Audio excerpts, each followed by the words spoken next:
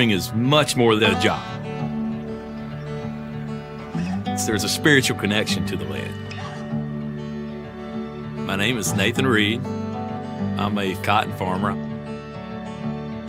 When my grandfather saved his money and purchased this land in the late 60s, then my father grew up on the farm and he loved it.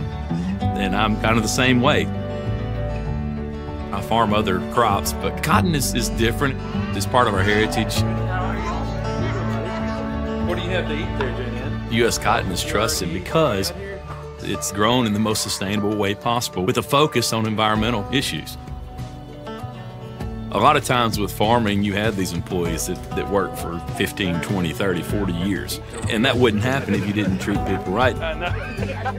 And every cotton farmer I know loves what they do. So we take pride in what we do. It's a very technologically advanced occupation.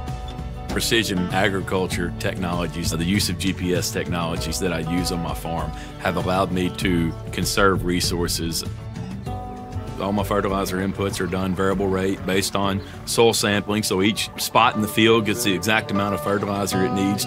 I'm using about 20% less fertilizer. And then we do GPS landforming. So we're able to landform the land so it waters more efficiently and doesn't erode. And I've gotten into heavy use of cover crops to help protect the soils, to prevent erosion, the cereal rye that we grow, it actually has an allelopathic effect on weeds, so it produces a, a toxin. Uh, it's almost, it makes its own herbicide essentially. Between the shade on the ground and, and the root structure of the cover crop, our water irrigation efficiency is just dramatically increased, and we're using a lot less water. I'm a father of four. I would put our sustainability and environmental friendliness and the highest quality cotton against anywhere else in the world.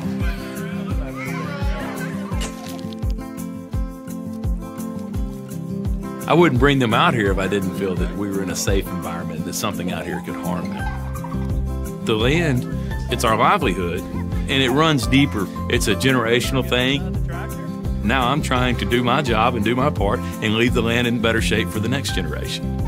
My dad, he was my hero in life. I feel every day whenever I go out and kind of look across the fields, I feel him standing right there next to me.